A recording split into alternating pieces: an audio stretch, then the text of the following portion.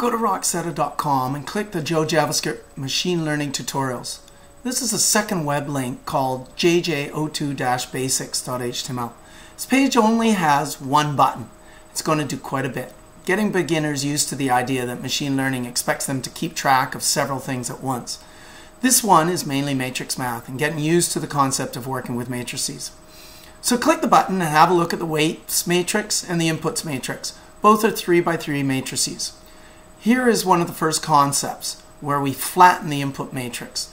Now let's look at the code.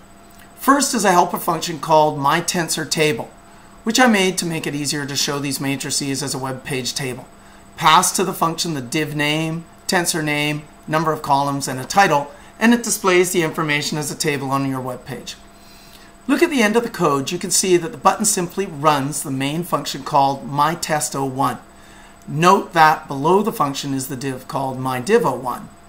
Near the top of the code, the async function myTest01 defines several constants, matrix shape, my weights, and my inputs. Matrix shape just shows one way of defining the shape of any matrix. I did not use it with my weights. My weights declares its matrix using the DeepLearn.js shorthand DL dot, then array2d dot new to declare a new two-dimensional matrix, first declaring the shape, then inputting the amounts in flattened format. Same method with my inputs. Now we use await and the my tensor table function to show these matrices on the web page. Run the button again and see how these first two tables printed out. Then we flatten the My Inputs matrix and display its information on the web page. Note that any DeepLearn constant or variable has lots of methods available from the deep learn DeepLearn.js API. Have a look at them at http colon slash slash deeplearnjs.org and then find API at the top right. Next, we define a scalar variable with the number 2.3 and call it myBias. To show the information, we await for myBias.data and display it on the web page. Click the button and find the output. Now define my algorithm as a dl.env.math. In many DeepLearn.js examples, they call this variable math, but I find that really confusing since JavaScript already has a capital M math set of functions. Instead of the word math, we're going to use my algorithm to make several matrix calculations. Variable my product is the matrix multiplication of my weights and my inputs using my algorithm dot matMul. MatMul stands for matrix multiplication. Then await and display the results.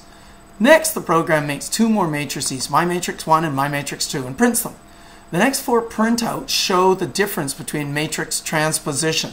First regular, second transpose my matrix 1, then reverse the order of matrix multiplication, which unlike normal multiplication changes the answer, and the last one transposes my matrix 1s, but in the reversed format.